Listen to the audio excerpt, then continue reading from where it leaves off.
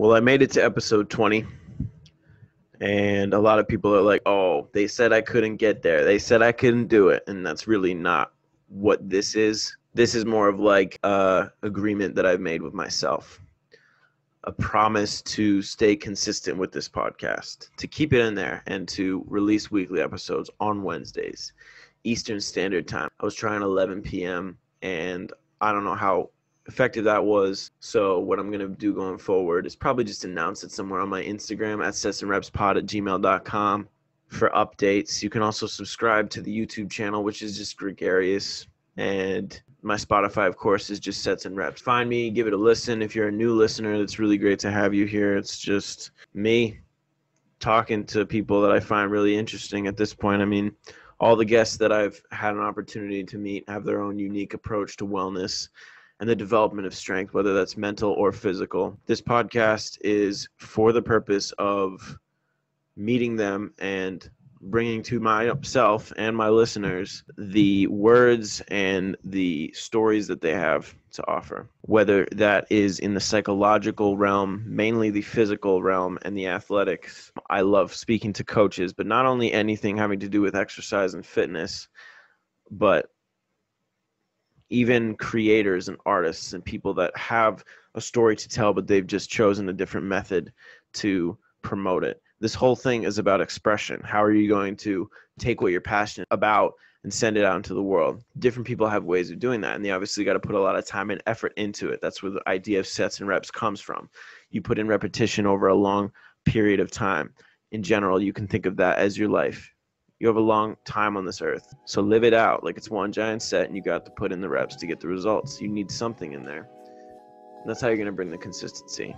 And I promise myself to bring consistency to this podcast. I'm thankful that this is episode number 20. To me, that's a little bit of a milestone. My guest was pretty special too. I spoke to Eric Dagati, who's been in the strength and conditioning space, the athletic space, the fitness and movement space for about 20 years now. And ap- aptly titled, the episode is called Experience is the Best Teacher.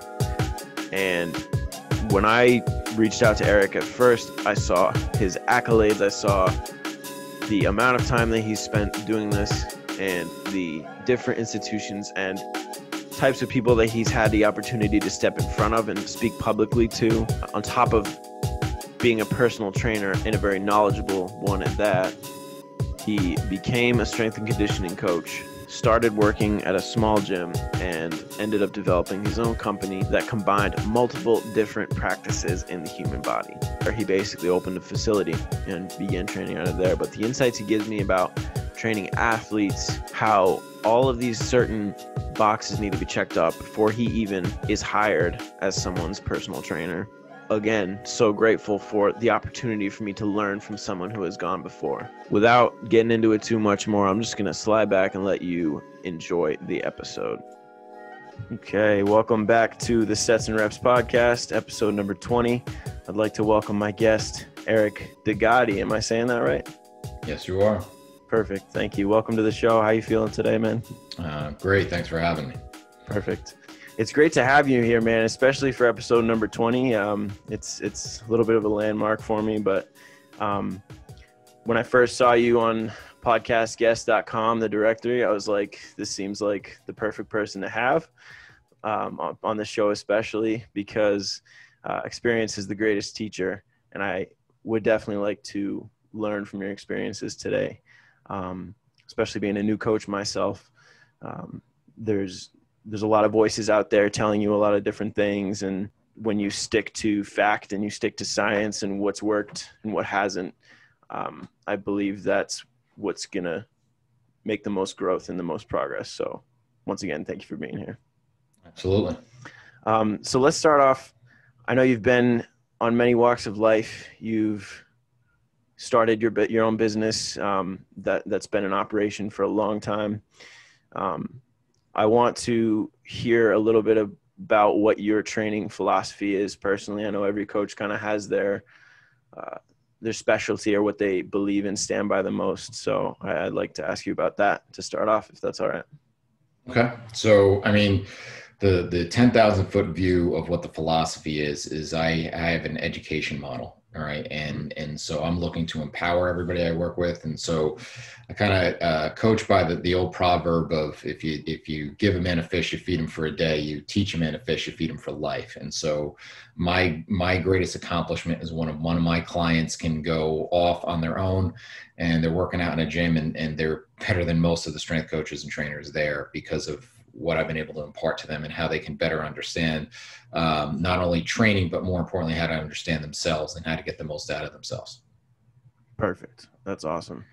Um, and I'm sure you've worked with a lot of different populations. Did you always have a, a specialty or an area in athletics, or did you start with general population?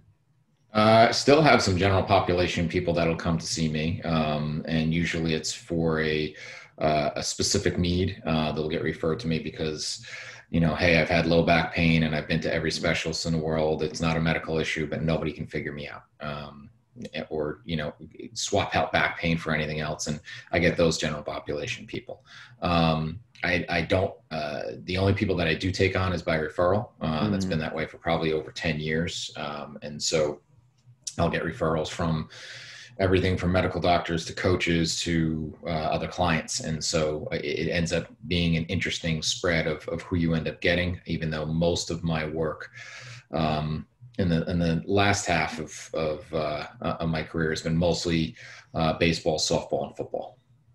Okay, um, you said that you've been just working with referrals for a while. Before that, was it kind of like a, an open gym scenario where uh, uh, you'd have a lot of different people that are coming in and out, and then they'd get training that way, or? Uh, well, when I first started, I mm. started in a big box gym um, okay. without really the intention of even being a trainer. I wanted to do something in the field, but wasn't sure. And the owner of the gym that I was training, uh, was working out of, uh, working out out of, said, you know, why don't you become a trainer? And I became intrigued, and um, and then uh, basically started training people and realized how low the bar was set um, in our industry, unfortunately, and started to become, you know, started to experience some success early on. And I literally got to the gym at 5 a.m. and there was a, a little, you know, I'm going to date myself. There was a little cardboard corrugated box in the front. If you filled out a slip, you entered in there to win a free personal training session. So I'd get there at 6 a.m. and I'd empty the whole box and call everybody at 9 8 at 901 and say, congratulations, you won and come train with me. And I would train anybody that would listen to me for an hour um, and then eventually built a clientele from there to the point where it grew and i kind of grew out of the box gym thing and found a personal training studio up the road that i brought my clients there and, and rented space out of there. And then i eventually took that over um, and opened up my own place and that was in 2002 so you really had that kind of um, that that drive it seems like to just to reach out to all those people and just make as many connections as you can. And would you say that that's part of the best ways to become successful in this industry is just by having that go out and get it type attitude. It's it's really the only way. No one's showing up looking for you. There's too many people in this business, and there's too much. Um, there, this, there's so much saturation of people out there that, that want to do this um, that you have to be able to, you know, I, I wouldn't have gotten anywhere in my career if I didn't, if I, and I always say that the, there's a fine line between being persistent and being a pain in the ass and I cross it on a regular basis. And so um, the only way I've gotten in through, uh, through any of the channels that I have is is is through that and and making connections and, and meeting the right people and then and in building relationships, those genuine relationships with those people, mm-hmm. meaning that uh, once I started to to uh, uh, to gather some success, I can't tell how many people came up to me and said, "Oh, you work with so and so, or you work with these professional athletes or this team. I'd love to work with them. Can I? Can you get me in?" And it's like, no, that's not how it works. You need to like we need to like dance the dance a little bit here and build a rapport and relationship. I don't know you, let alone trust you enough to to open up my my contacts list to you. So mm-hmm. um, building those relationships are huge, and you never know where they're going to go. I've had people that reach back out to me. 10 years after I stopped training them and then they introduced me into something else or or another opportunity. So you never know where it could lead. So it, the, creating as many good honest relationships as possible is is is and being and holding up your end of those relationships is the most valuable thing in, in this or any business. And what i've also heard and believe is valuable too just on top of that is like you know after you build those relationships keep them around like like don't burn your bridges right? Because you never know where you're going to see someone else again. Like just like you're saying like you might see them down the road 10 years. Yeah i, I mean it let it, i mean i've had people set a lot of set a lot of bridges on fire around me but i've never i've never lit one up. It's not it just yeah. doesn't i don't see where you gain from that. I'd rather just walk away and find another bridge. Absolutely man. That's good. You'd be a really good builder if you were in that industry so appreciate that. Um, so talk to me about one human performance. Did that develop out of the, or the idea for that at least, did, did that develop out of the space that you were telling me about up the road from the original gym that you started working at? Yeah, I had this vision um, from working in in in uh, facilities and seeing what other facilities were doing, and they were um, they made poor attempts at best at doing it. Um, but they it really wasn't prevalent where you had uh, multiple disciplines in under the same roof. And what I mean by that is even when I was in the big box gym, we had a group fitness uh, department, we had a, a new, we had nutrition consulting, we had personal training, and none of them and we well, I think we had a chiropractor there too. None of them coordinated with each other. So if you went to the chiropractor, they'd say, "Oh, well, you shouldn't be taking that group fitness class," and the group fitness instructor will say, "Well, that's because the trainers don't know what they're doing," and the trainer would say, "Well, I don't know why the nutrition person telling you that. You should be doing something else." And so you know what the client ended up doing at the end of the day?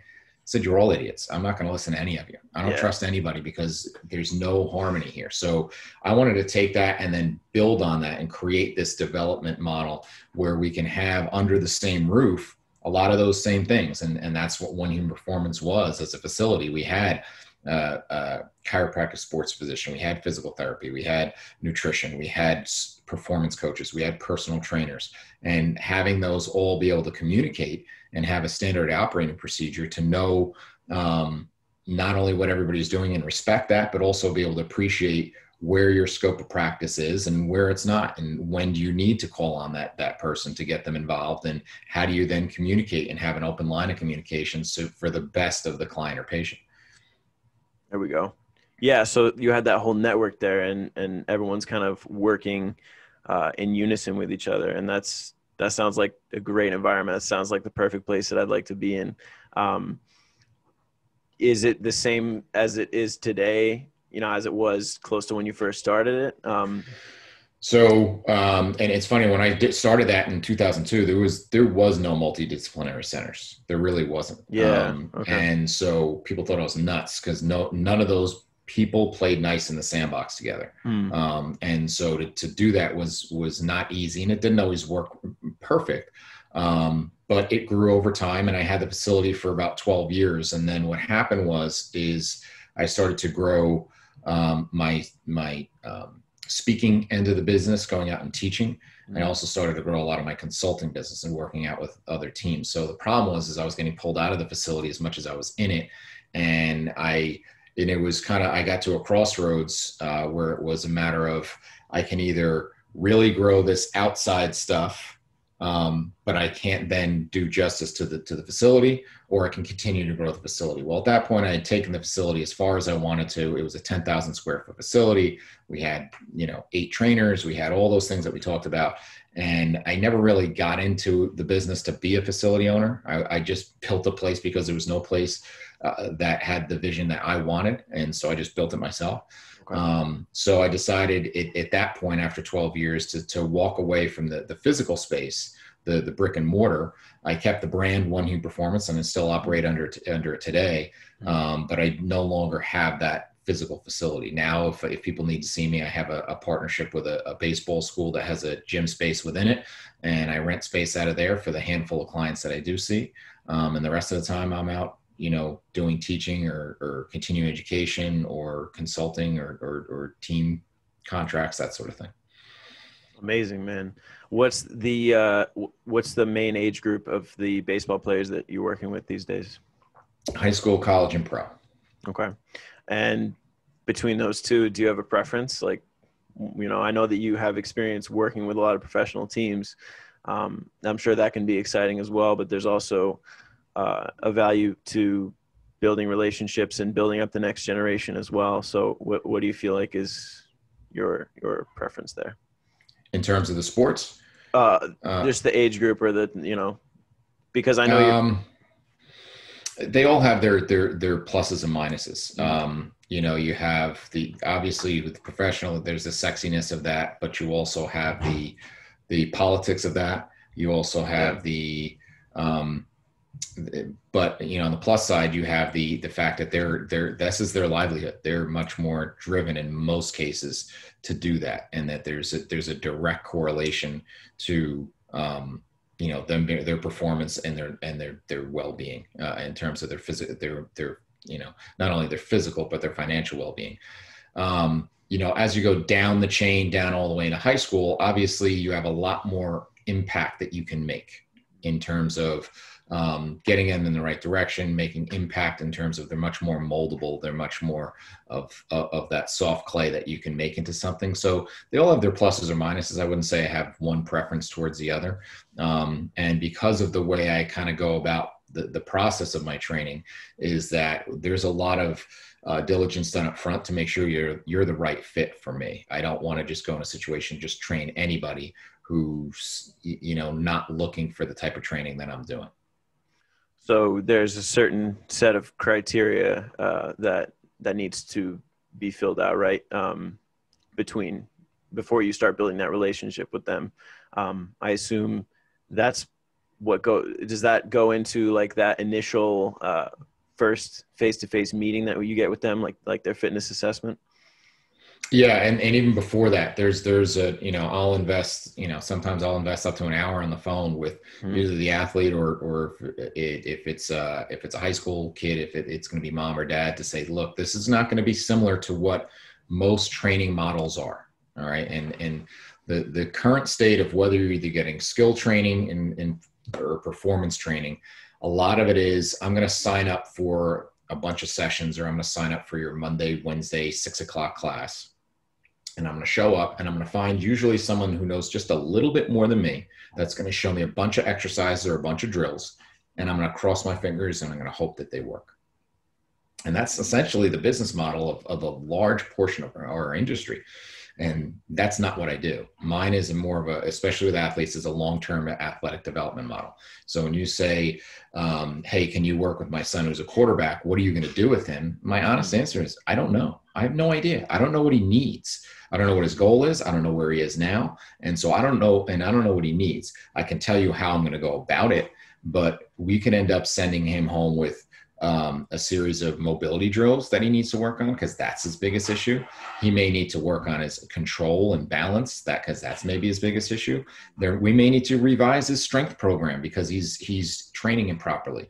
We may need to to work on power development, or we may need to look at a food log because his nutrition stinks. Um, there's a lot of different things that go into this. And so I don't know what you're going to need until I open up the hood. And that's where the assessment comes in. But we always have this conversation first before I ever go and measure a thing.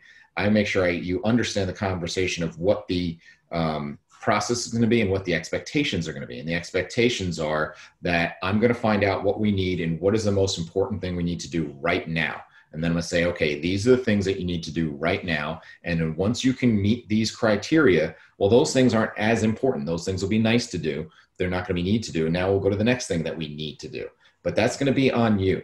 That's not going to be on me. I am here as the the the the kind of architect of this project. If we're, you know if I'm training you, I'm the architect of Project Build Greg, right? And yeah. it's ultimately up to you to build it. I'm just going to tell you okay, just like you would have an architect who's building your house, I'm going to say, okay, well, this is what you need to do to do that. This is the space that you need. Here's the layout that you should use. Here's the, uh, here's where everything goes, and here's the timeline of how we're going to develop this project uh, to make sure it goes smoothly.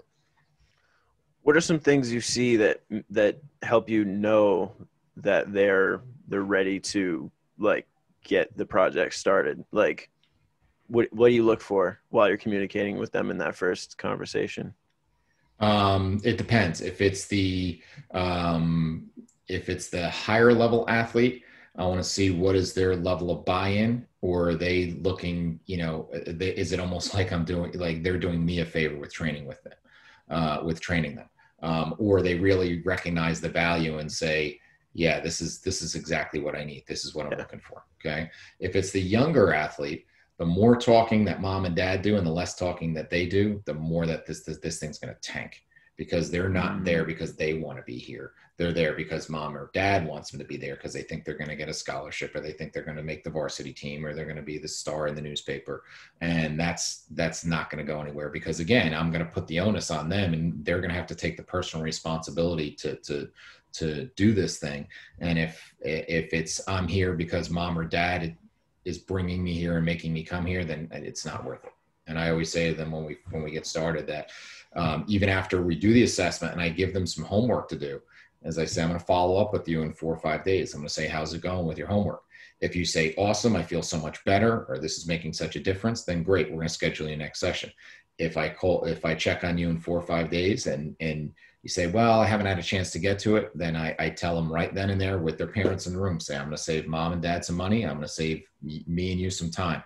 That's it. We're done. We don't need to do go any further. It was great to meet you. Um, because if you're not going to follow through, then we're not going to get anything out of this, and it's not going to work for either of us.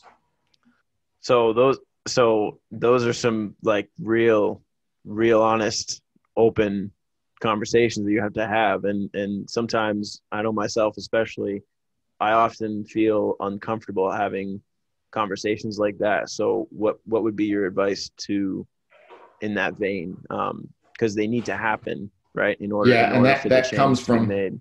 Yeah, and that comes from yeah, that confidence comes from uh, from experience, and mm-hmm. you know when it comes to experience, you talked about before is your one of your greatest teachers. I always joke when I teach and say, you know, I have my uh, doctorate from SSU. It's University of Screwing Shit Up. And so that's how I learned everything is by making the mistakes. But I would much rather have that. And I always say disagreements come from lack of agreements. And I'd rather say up front, this is going to be our agreement between you and I. Mm. And this is what I'm going to do. And this is what you're going to do.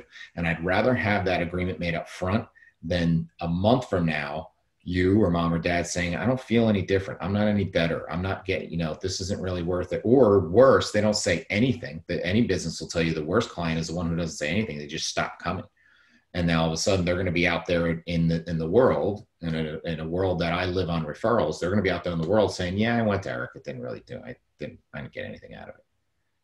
Right. And so I'd rather have them. I'd rather kick them out before they they fall on their face, and then I and then we both look bad this is yeah this is all crazy stuff. It's making me think and like like assess how i'm going about things and and you know different experiences that i've had in the past. So um it's it's really great to hear from you because it's kind of it's uh it's confirming thoughts that i've had and and um you know i know that this episode is going to help other coaches out there other learners out there um you know operate well. And it's you know it's going to help me kind of choose my path and and help direct my footsteps. So um, I know that each situation is going to be different depending on that conversation that you've had with the person, um, depending on what they do, what they need, right? Um, can you go over with me some boxes that you check off when it comes to okay, we're getting this started. You have the behavior, like they're they're in that state of behavior change, they're ready to go. Um, what are some things you check off on that first day with them? Okay, so uh, the first thing is is the first day is an, is just an assessment. Yeah, and um, the information I need to gather before I even actually do any actual testing, is I always say, I need three things to write your program. I need to know your future, meaning what is your actual goal? What do we want to accomplish? How long do we have to accomplish that goal? Tell me exactly what that goal looks like. Okay. Um, and then also um, what type of environment are you going to be in? If you're going to be an athlete um, i need to know everything in environment from what level you're playing at what you know if you're a um, if you're a quarterback and you're playing in a in a high you know spread offense that you need to be able to run or you're just more of a three step drop type of thrower? You know so all this information as far as what type what do i need to prepare you for? What do you need to be prepared for and, and, and your goals with that. So that's the future. I need to know your past, medical history, injury history, training history, everything that led up until today. Okay, what have you been successful with? What is what is uh, what what has not worked? All right, and all that's going to tell me a story.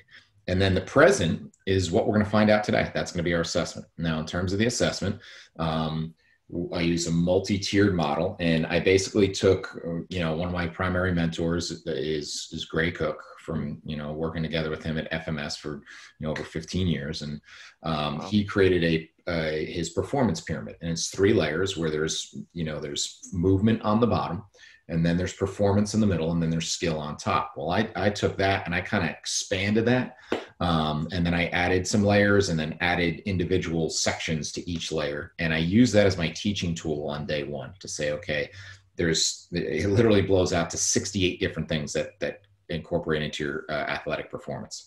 And I say, uh, which one do you need? Well, we don't know until we open up the hood and look. The bottom layer is health. All right. I need to make sure you're healthy first, meaning that you know, if as long as you didn't come in in a wheelchair or on, on crutches, I can assume that you're physically healthy. But we may go and start doing some movement and you may experience pain. And that means we have a health issue here. Um, and so I may need to figure out why that pain is happening. But we also need to look at all the other intake information to make sure that we don't have a health issue that we're working around. Okay.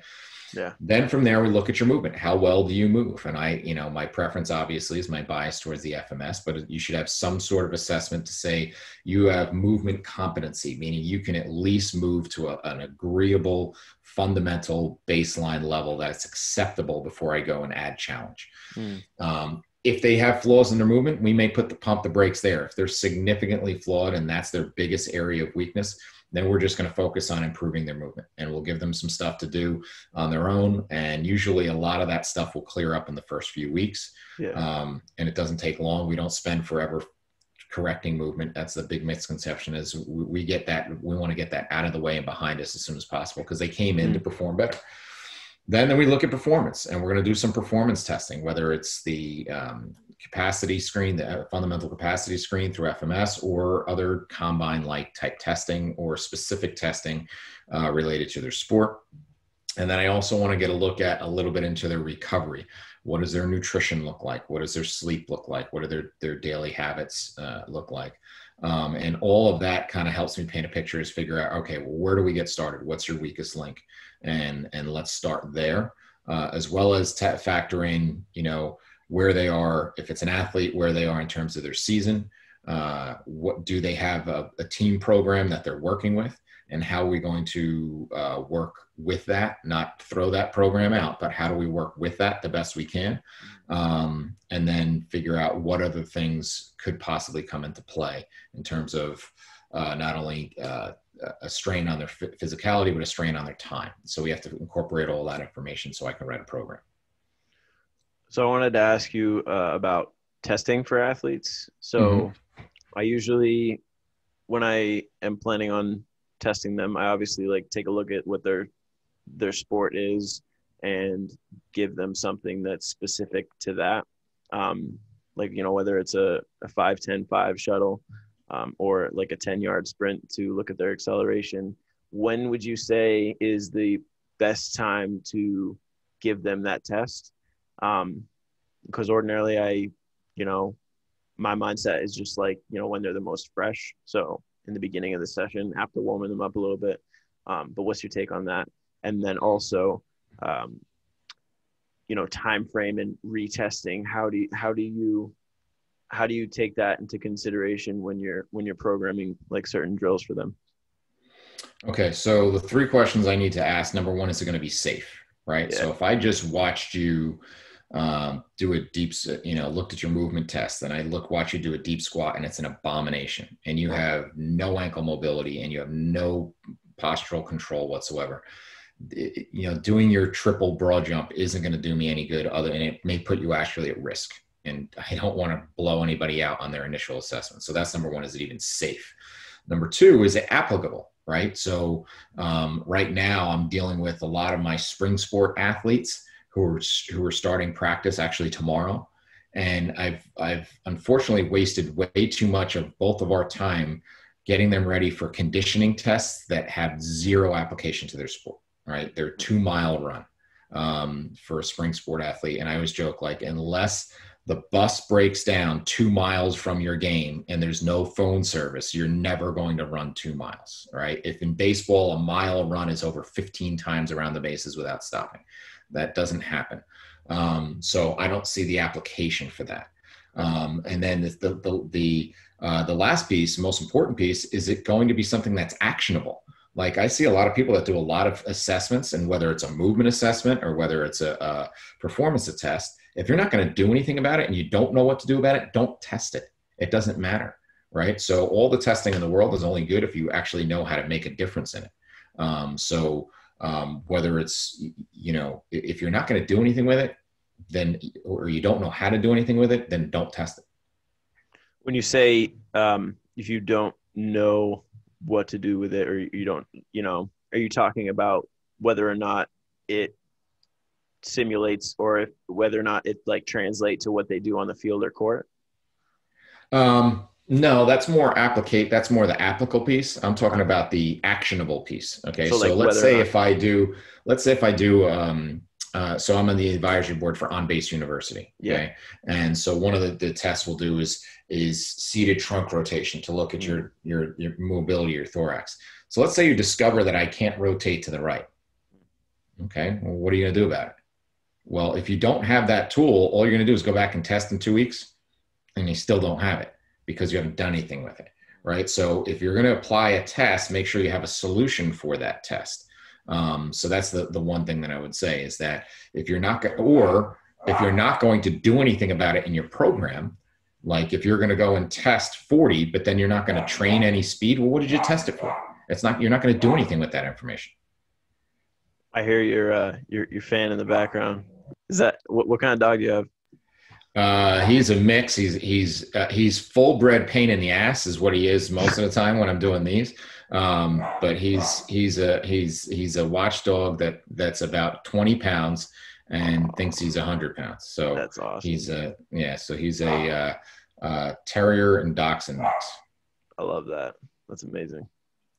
Um, so great. So safety, right? Is it safe? Is it mm-hmm. applicable? Mm-hmm. Uh, do they need it, right? And then is it actionable? don't give a yeah. test unless you have a solution. So that exactly that really paints a perfect picture for me. Um, when it comes to things that you want to avoid when you're when you're programming for athletes, like um, I guess you know I, I keep coming back to common practices that that people do because I really want to hear your take on it. Um, you know what what doesn't what doesn't work when it comes to working with you know actually improving performance and seeing improvement like like being able to measure it? What what doesn't what are some things that don't work in your opinion?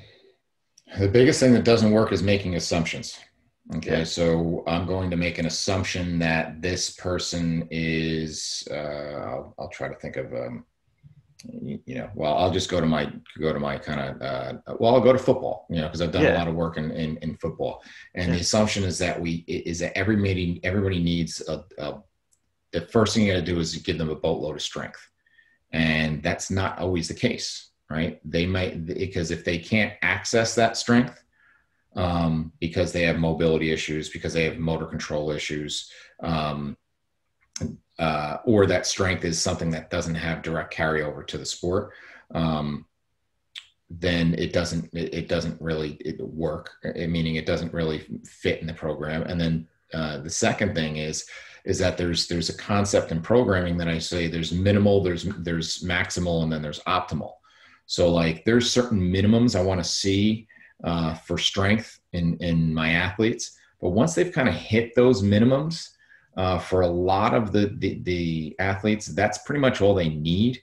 Um, maybe a little bit more depending on their position, depending on their sport, depending on their level of play.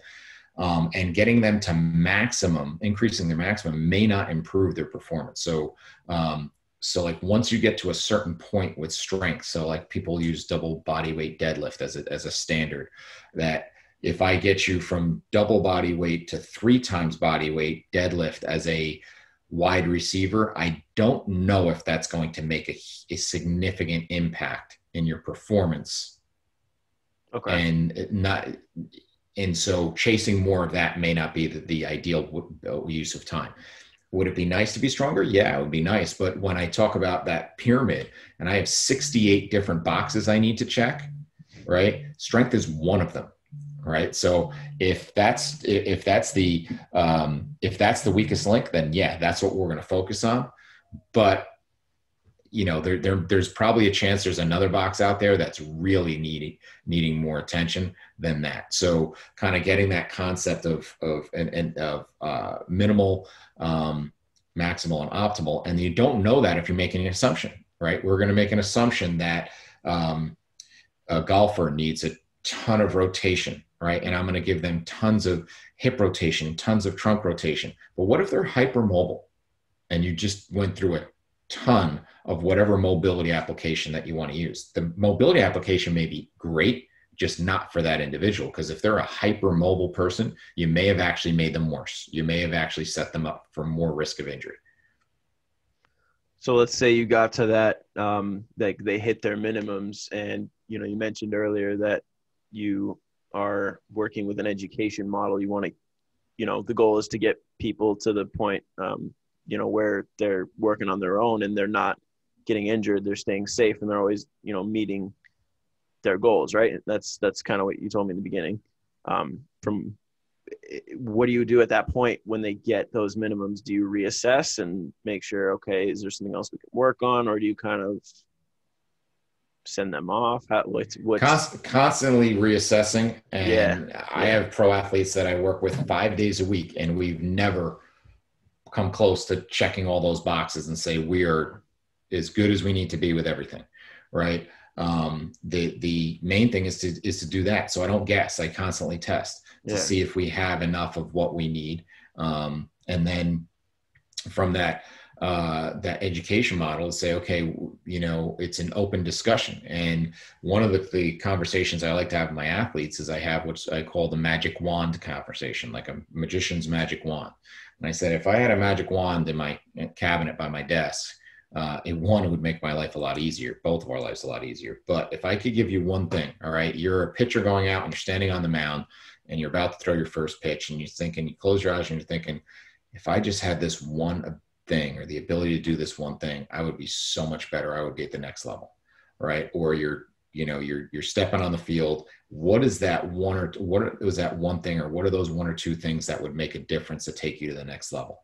And i always tell them you don't need to answer me right now. Sometimes they say it automatically. They know. They've been searching for this one thing and they can't figure it out. Um, they know it's not there but they don't know what to do about it. Or i say you know what? I need you to go and you know next time you're you're in your hitting lesson or next time you're at practice or you're in a game i want you to have this in the back of your mind. I want you to come back to me with that kind of wish list of what are the things i really need to address. And then sometimes that's the fee- that's where the relationships come in where i can have a conversation with their pitching coach. I can have a conversation with their hitting coach or their position coach mm. and say okay what do you see that we need to work on and they'll and and that's how i got a lot of the relationships i have with a lot of skill coaches is that i would go and just sit and watch a lesson and they would be telling you know you know telling somebody hey you need to try to get your hips through or you need to be able to turn your shoulders over your hips or not pull your head off and i would sometimes interrupt say hey you know we can call timeout I he under I said, you understand what he's asking you to do? And they say, yeah, I just can't do it. And I'm like, yeah, you, you can't do it. You can tell him all day his body physically can't doesn't have the ability to do that. And so let's try this. Stop the lesson for one second. Try doing these two things. That's going to give them some awareness of how to do that and then get them to do a few repetitions and gain a little bit and then now go back and try it. And they say okay well it's not perfect but i now i can actually understand. I, you, you've given me a language now that i can communicate um, and do that. And so that's where that that wish list kind of comes in, and that magic wand conversation of being able to figure out what is the what is the next thing. And, and sometimes it's the test that will tell you, and sometimes it's just the plain having an open conversation with your athletes because they know what's holding them back. They may not know why, but they know what what the end result is that they're that's holding them back. Got you.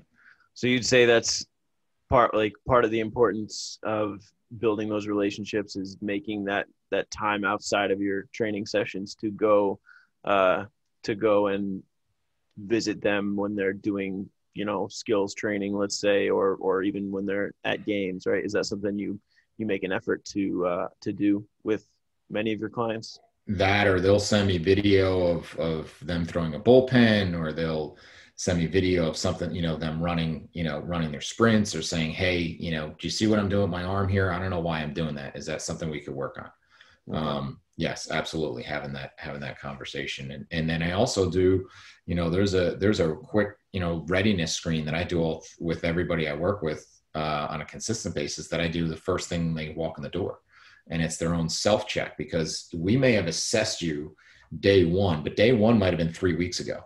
And since that time we've done that assessment, you're maybe now a different organism that stood in front of me from three weeks ago.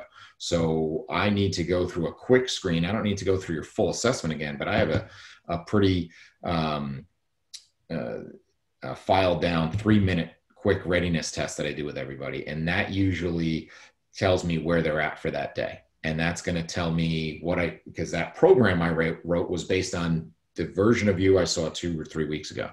Now I may need to adjust that program based on what walked in the door today. So that may mean mm-hmm.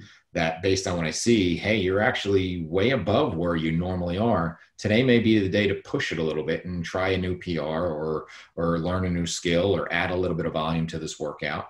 Or today, um, you know, something's not right and we may need to slow down a little bit and we may need to make some adjustments today um, and maybe remove some things or add some things and and just kind of tweak the workout a little bit based on what i'm seeing here because um, maybe normally you can touch your toes with no problem but today you were a little hesitant and, and you're a little bit restricted so we were supposed to do kettlebell swings but with that type of you know forward bending and hip hinging i don't feel comfortable so let's do a few things up front to see if we can clear that up and then go back and recheck that toe touch. If it clears it up, we can proceed as planned. If it doesn't clear it up, well, now we need to adjust and we're going to pull that out.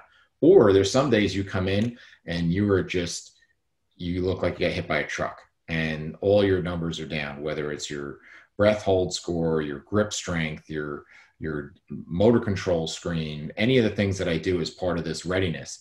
And then I'm like, all right, something's up here. What's going on? And they say, yeah, I didn't sleep last night, or I ate crap, or I went drinking or whatever. And now, okay, well, guess what? Today's program just got scrapped. We need to, you know, go to plan B and plan B may be just a recovery day or just a movement based day or, mm-hmm. um, you know, that sort of thing, because I can't give you the program that I wrote for you because you're, you're not going to be able to handle it. And all I'm going to do is crush you and that's not going to get us anywhere. I think one of the biggest things that's impacted me so far in this conversation is that idea of like don't assume anything because you everything you're telling me is like you know the retesting, looking at them when they walk through the door, even having that you know that three minute assessment too. Like it's it's not you're not always going to stick to that one program. It sounds like you need to make changes like depending on what what that what that organism is like that day. Like I remember a handful of times when I would, and I still do it. Like sometimes, like I'll be concerned about like sticking to the program or whatever I wrote up, but then I'm thinking like it's it's, it's about that person, so change it up, and it's and it's all it's it's it's like an experiment in a way. Um, so that's great. That's awesome. And then now with the, the tech that's out there with with looking at readiness, whether they have an Oura ring, a Whoop band, a Morpheus band, all these different things, the Apple uh, Watch, you can even look at their physiological readiness and you know the, they that's where kind of the finding some of that information and using that in uh, as an art to say my goal is to push you as hard as i can possibly push you without breaking you down mm. so you come back stronger the next time now that bar that that bar moves on you right and so if you're sleep if you're rest and regen if you're um, you know uh, whatever's happening the rest of your day you might have shoveled snow the day before yeah. all that stuff is going to move that meter to what your max is for that given day and so what i want to do is see where that that goal line is and i'm going to try to get as close to that as possible without going past it i got to get myself a whoop i've been uh, putting it off but those things are awesome and uh, have you have you seen the um i don't know how accurate it is but have you seen the InBody um, wearable where like InBody is the machine that does the uh, the body composition. Have mm-hmm. you seen those InBody wearables before? Everybody's coming out with a wearable now. Um, there's varying degrees of accuracy with that. Yeah. Um, so I'm looking at it because training is cumulative. I look at the recovery as being cumulative. And if I'm noticing that um, it tells me a couple things. Any retest that I do, it tells me it, it doesn't, it's not so much of if I'm training you, Greg, it's not so much that I'm retesting you to see if you're doing your work. I want to test myself to see if my stuff is even working. Um, cause I don't, I don't, I, I, say I believe none of what I hear and half of what I see. So I want to be able to to make sure that it's actually working. And and if it's not, I need to change course. We're not going to go six eight weeks into this thing to realize it doesn't work. Um, yeah. We're going to figure out pretty quickly if we're on the right path. Um, so any of the tech that can give me that feedback, whether it's a uh, a recovery tool like a Whoop or Morpheus or any stuff you're talking about, whether it's a push band that tells me, you know, some and some velocity based training that tells me that what's your your power output, looking at those sort of things, whether it's as simple as your numbers in on your chart to say, um, you know, normally we work with, you know, 50 pounds with this, and and now all of a sudden you're getting you know the number of reps and you you still have 10 more in the tank where when we first started this that was all you had. And so the art of this is and i the, the first discussion i have on day one of training with every individual and every team that i train is i say for this to work we need this to be two things. You need to be challenged. That's the whole reason exercise works right? Mm-hmm. you you challenge yourself and your body goes holy crap i don't know what you just did but you're going to keep doing that. I have to get better able at doing that and your cells will adjust whether it's yeah being more efficient, whether it's um, whether it's adding more muscle or adding more tensile strength. And so with that, you need to be challenged, but you also need to be successful, meaning that if I just you know smoke you, um, which unfortunately a lot of people think that's what training is. If I just smoke you, but then you're you're toast for the next five days, then I wasn't really successful, right? In, in my mind.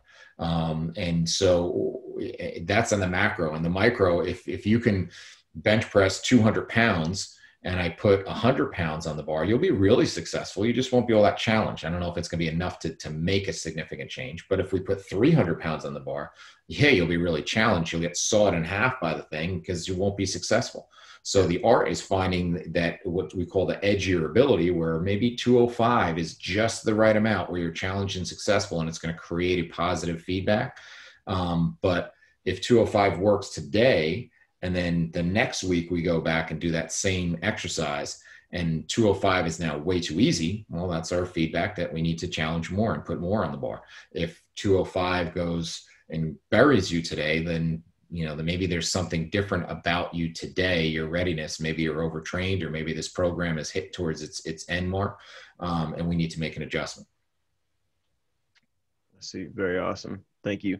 Um, i i want to get into your um, experiences teaching to uh, public speaking, I mean, to different audiences and, and different scenarios, and then actually a little bit on your work uh, too with more of the professional sports teams. But one other quick question I had uh, when it comes to breath work and breathing combined with movement, um, do you have a specific approach? Like, do you use it in conjunction with core exercises, or what's what's mainly going on there for you?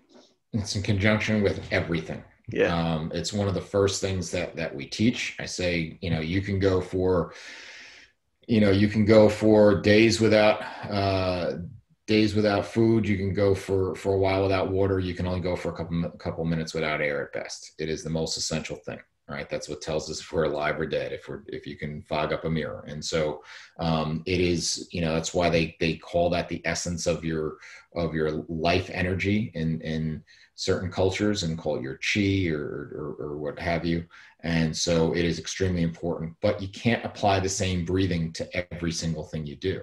Um, there's a certain type of breathing that I'll teach you in terms of kind of a reset um, or, or recover type of breathing, where I'm going to teach you more deep, um, full, you know, for lack of a better terms, belly breathing. If someone's really an expert in breathing, it's we know it's not exactly that, but there's more deep, full recovery reset type breathing. And then there's a different type of breathing that if I want to create a lot of tension, um, that I would do where I would, you know, breathe behind the shield and do all these sorts of tension up regulators that I would do if I'm going to do a heavy deadlift or squat or, or something of that effect. And then there's a different type of breathing. If I want to express power or speed, like a martial artist would, would spit the air out, or you'd hear a grunt from a tennis athlete, that's a different type of breathing. And then you get into the type of breathing that you would do in types in terms of your conditioning and teaching athletes the importance of nasal breathing um, not only when they're conditioning, but also, you know, throughout their day and incorporating that into their conditioning.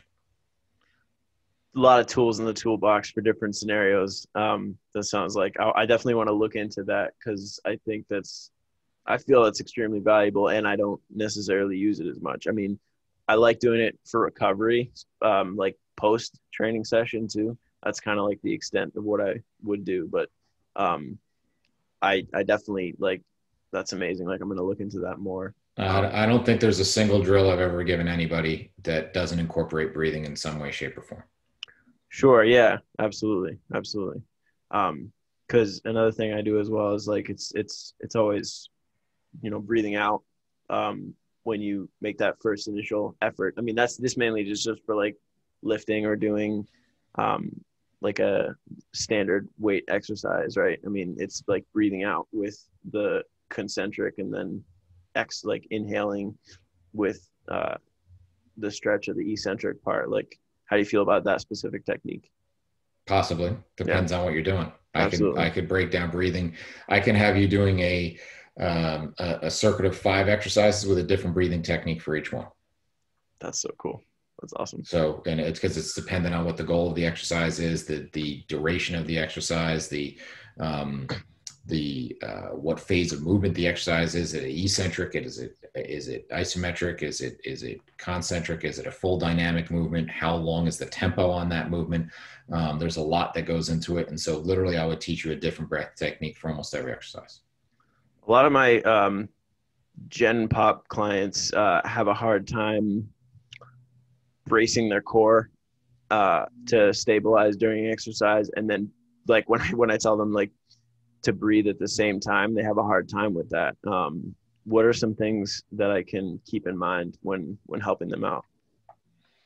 Um, well, the, there's some great tension feeding techniques that you can find from Pavel Tsatsouline uh, in his in his uh, Naked Warrior book, oh. where he basically builds you to to do a single arm push up or a single leg pistol squat. Uh, there's a lot of elegance and brilliance in there uh, getting people to understand the importance of their breathing, you know, getting them to get some tactile feedback. When putting getting a hand on their chest, a hand on their belly, learning to understand the difference between a, uh, a someone who's more of a apical breather up into their chest or someone who breathes down into their belly. Get them to put their fingertips on their abs and say to breathe out hard and feel what happens there um, and getting them to experience the different things and understand that I not only expand out, I uh, front, anterior, posterior, I expand laterally.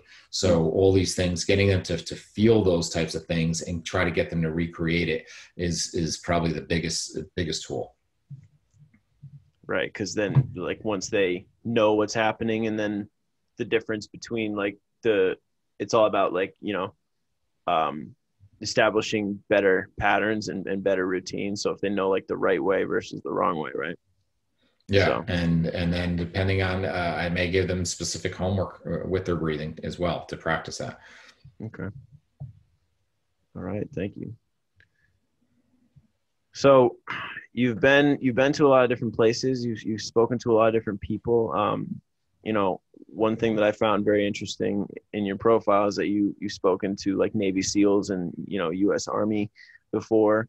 Um, so out of all these kind of conferences and all these um, you know speaking venues that you've been at, what's the one that you feel like you I guess had the best time at, and then also like the one that you felt you made the most impact at. Um, uh, let's see. There's there's a there's a couple good ones that I've had some great opportunities with. Um, mm. Yeah, obviously working with the military, I'm in awe of the of anybody in the military, and especially when you get up to those higher levels uh, and getting to work with the people who work with the special forces, and um, the, I'm, I'm in just absolute awe of, of, of what they do, and, and and the respect I have for them is immense. Um, and then you know along those lines one of the you know one that stands out in my in, in my head is, is i've gotten to, to speak i've had uh, either in my either in my fms classes or i actually did a, a private course for the la county fire department. Um, and just seeing people who really didn't have a background necessarily in exercise but were looking to incorporate uh, this in, and those people are like real life rescue heroes. These aren't, you know, getting cats out of a tree type of a firefighter. These are flying Blackhawks into wildfires um, type of people. And so that, you know, the, having the, the, the um, opportunity to speak to them was awesome. Um, getting to speak internationally um, is a very cool thing because there's a huge language barrier.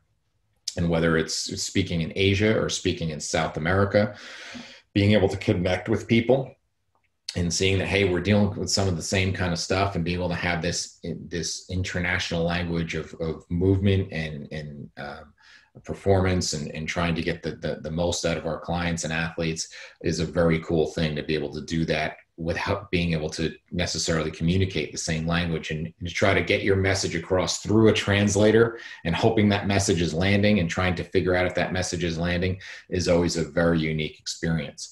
Um, and then you know probably one of my uh, coolest things is i got to speak at we used to run summits uh, with functional movement systems. And uh, i got to speak at i think the last one that we held i think was 2014 and i got to speak at that. And that was personally uh, one of my favorite ones because I got to speak in front of all my mentors. And, you know, I had mm-hmm. Gray Cook and Lee Burton and Greg Rose oh, wow. and all these people in, in, you know, in the audience. And that was probably the most nervous I've ever been because I never get nervous speaking other than in, in that case. But that was a very, uh, very, very cool experience for me. Have you spoken at Perform Better before? Uh, I did. Uh, I just did. Since everything's been virtual, I just did their mm-hmm. Perform Better Europe virtually. Um, and and so uh, um, haven't done any of their uh, of their other conferences, but I've done you know academy. I, I just I'm actually doing one um, for ACSM, their international conference. I just did a pre-recorded bit, and then I'm doing a live Q and A with them uh, in two weeks. Oh, I was gonna yeah, I was gonna ask you as well. What are some like upcoming future um, you know events that you were gonna speak as, or anything else that comes to mind? Uh, the most uh, the the ones that are um, coming up the soonest would be the like I said the American College of Sports Medicine their international conference. Um, I think they just opened up where you can start viewing the the pre-recorded stuff, and then there's live Q and A's. Uh, not this weekend, but the following weekend. Um, I'll be teaching a, um, a, level one, level two combination virtual course uh, for FMS with Lee Burton um, in May. That is uh, May 21st and 22nd. Um, that's that's the next two things on the agenda. Where can myself and others uh, act like find? Um, I mean, I, at the end, I usually do like a like a plug for all mm-hmm. of your mm-hmm. stuff, but um, I'm really interested in finding out where I can do those, um, especially the ACSM uh, and the FMS thing that you're gonna do. Um, where where can I sign up? I'm gonna get in trouble for this one. I believe if you, oh. you just, just search for American College of Sports Medicine um, International Conference, you'll find that. Uh, I believe it's acsm.org. Um, but uh, functional movement systems is just functionalmovement.com and look under courses and you can find uh, the uh, course coming up in May. Perfect, man. Thank you so much. So, in your experience with uh, working with professional athletes, you have you have a, a colorful uh, a list of teams that you you've been with before. Um, was it mainly uh, the massive group environment, like you going to them, or did you know was it people coming to you one on one? What was the breakdown there? And, and I've had I've had both. Yeah. Um, uh, the team relationships were, you know, I've gone on and I've gone in and done uh, FMS um, workshops for um, multiple professional teams. Um, I also was a consultant for the New York Giants for nine years.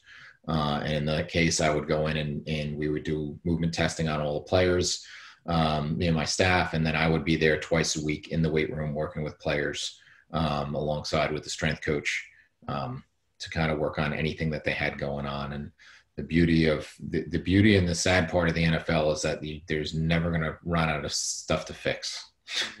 Yeah, I can get that 100. percent A lot of injuries. Um, was there something you you feel like you saw the most with football players? Uh, football in general, you usually see the, the, the, two biggest issues is ankle mobility and mm-hmm. shoulder mobility. Um, And so because of that, you, know, that's where you see, you know, ankles will create issues all the way up the chain. Um, and the shoulder mobility will lead to any of the upper body issues that we see, whether it's shoulder or neck, even some low back stuff because of that. Yeah, it's crazy. And if you have an issue in one spot, it's not always there. Like you got to look above and below too, see what's going on, right? And that's regional interdependence. That's the whole idea. Yeah, I like that. Um, can you talk to me a little bit about like what your first? Well, first of all, do do you when you would work with the teams, would you introduce yourself as like your a strength and conditioning coach, or were you uh, you know a trainer? Like, how how did you kind of what was your title at the time, and and what did your first day well, with the, them usually look like? The key with them or any of the teams I've worked with, even the high school teams, yeah. is um, I have my light here. Um, is that um, I explained to him, look, I'm a strength coach, but I'm not your strength coach, right? You have a strength coach. I'm going to work alongside with them and support what they do. I'm here to help you uh, with whatever it is that they've they've brought in. Um, now, in some cases, in some of the high schools I work with, they don't have a strength coach. They have their skill coach. They have their football coach or baseball coach, and I'm there not to be there every day with them with a cup of coffee and the newspaper to run their through their lifts. I'm there to give them what they need, whether that's an on-field session, whether that's um, in the weight room, whether it's a recovery session, what have you. But specific to the to the professional teams, I say, look, just what I said. I'm I'm here to work alongside, and I was in in in the case um, where I would be a liaison between the training staff and the strength staff. So um, let's say you I, I, get the trainers would come to me and say, Hey, look, this guy tweaked his hamstring running down on a kickoff. Um, we'll treat his hamstring. You figure out kind of what what's going on there. And i can relay it back to them say well yeah he he's got a stuck left ankle. He's got no hip rotation on his right side and he's got um, poor you know control in his in his leg raise so i'll work on that stuff you work on the hamstring let's meet back in a couple days and see where we're at um, or the strength coach i would be there and they they i'd have a guy walk up to me and say hey you know strength coach said to come see you because I'm, I'm I got I can't I keep shifting left in my squat. He can't figure out why. Can you figure out why? And then I'm gonna mm. do that and feed him back to the strength coach to do his program. So that's kind of how it was positioned there. That's awesome. Would you say that's like like that's pretty much the standard of how things operate with a strength no. like multiple strength coaches. Okay. No, there is gotcha. there is no standard from no. team to team, from sport to sport. Yeah. Um, there's there's a lot of um, there's a lot of politics. There's a lot of ego. There's a lot of protecting of your turf, and um, so with that, you know, in an ideal, you know, utopia, everybody uh, works together and everybody is harmonious and and you know doesn't step on any toes, but that's not the reality. The reality and is that every, you know people are trying to protect their jobs. People are trying to, uh, and they know that that's something that you could lose at any day. And so uh, they're going to be protective of someone like me from the outside coming in. So there's a lot of effort that goes into building trust and rapport to say that I'm not looking to take your job or I'm not looking to make you look bad at all. I'm I'm actually here to make your job easier and make you look good. Mm, perfect. And I'm not looking to take credit for any of it.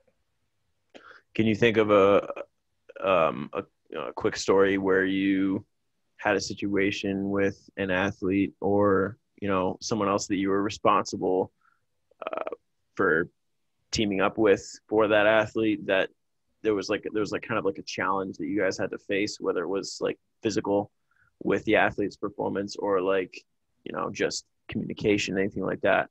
And then that this is like something that you saw like was kind of difficult to work through and then you did end up working through it for the betterment of everyone involved. Without naming hmm. names there's there's a lot of stories over over the 20 plus years i've been doing it. There's you know the the, the hardest stories are the ones when you have an athlete that there's there's uh you know it's the end of the line. And you know no matter what we do there's just you know there's not a place for them to play and so their their time is run out. And some people you know for some of us our athletic careers ended in high school. Some get fortunate enough to play in college. Some fortunate to play at the pros. But we're all told one day that it's that you're done. Um, and so realizing that we've been working at something and it's not and no matter what we do there's just not the interest there and it's done. That's that's a that's a, one of the more difficult on the downside of things or the downside of things to say you know injuries do happen there are some cases where you're going to get pulled out of your sport or you may be you know taken your sport may be taken away from you because of something that happens. And, and sometimes it's completely out of our control. We could have you know, i've had i can think of one kid in particular that um, he had had a slight tear in his acl the doctor said we're not going to uh, operate because of where he was. He was going into his senior year. Um, he was looking to get recruited and so he said, let's do the best we can. And they opted to not do surgery. And we worked really hard. And, and this kid really did everything I asked him to do. And we got to the point by his opening game that he was running, cutting. He was a hundred percent. He was, um, he was doing unbelievable. And the, and the doctors, you know, said, there's no reason you can't play. You look great. He goes, I don't know what you did, but you pulled it off. And he goes out and he goes to his first game and in the first quarter he he's running the ball he plants his foot and a helmet comes flying into his knee blows out his own knee. Had nothing to do with the previous injury. It was going to happen if he had the greatest knee in the world. You just can't control that.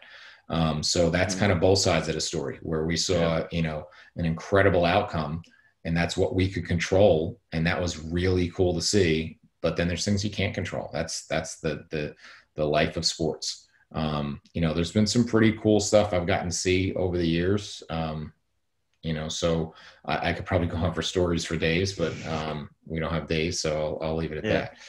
Okay, thank you. That that really you know helps me get some perspective, um, and it and it leads kind of into one of my last questions for you, um, which, uh, you know, I wanted to be able to apply specifically to people who are starting off in a profession, uh, people who are still working their way through what they're um, what they're doing. And you know, you mentioned things that you can control and things like outside of your control that are completely unpredictable, right? Um, but basically, my question for you is: um, early in your career, did you feel like there was a time when you were uncertain whether or not you were on the right path um, and maybe you felt like you were in the wrong spot um, and if so was there a way that you dealt with that personally um, that's making the assumption that I, that there's days that now that I don't feel like yeah. I'm in the right spot.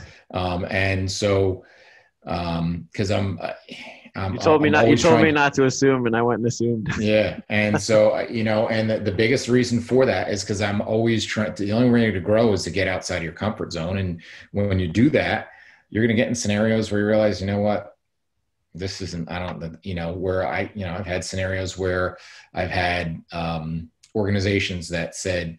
Uh, hey, we really like what you do. We want to bring you in. We want this, that, you know, we want you to work with our athletes. And then it sounds great and we've had meetings leading up to it and it sounds like it's exactly and we had everything best laid plans and then the sessions start happening and it's like no this is not what you said it was going to be and this is not the environment that i had in mind. And now i'm kind of committed to this off season program and it's like this is you know what this isn't the right spot. And so i just know it's a learning experience and next time i'm not you know when they call back for next year i'm going to say thanks but no thanks because uh, this isn't this wasn't what we envisioned.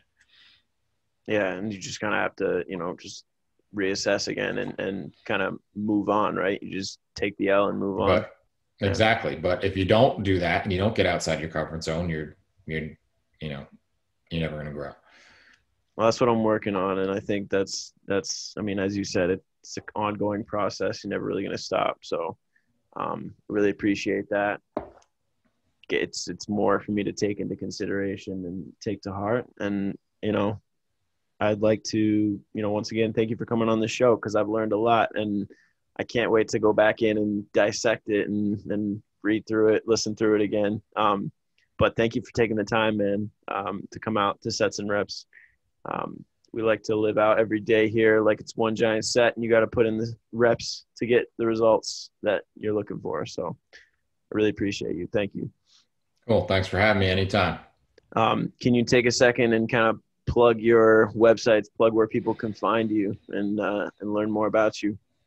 Yeah, that's simple. Just go to uh, my website's my name, Eric Dagati, E-R-I-C-D-A-G-A-T-I dot com. Um, there's even a thing on the homepage because I do so many of these things and I teach so much. It's called Ask Eric. And if you just uh, uh, put a question in there, it'll go to my email. And I usually get back to people within about a week or so with any questions that they have. So, yeah, you were very quick getting back to me. So I thank you again. That was awesome. Um, all right, perfect. Eric Dagati. Sir, have a wonderful rest of your day. All right. Thank you, you very much. well. Thank you, Greg. All right. Take care. Thanks.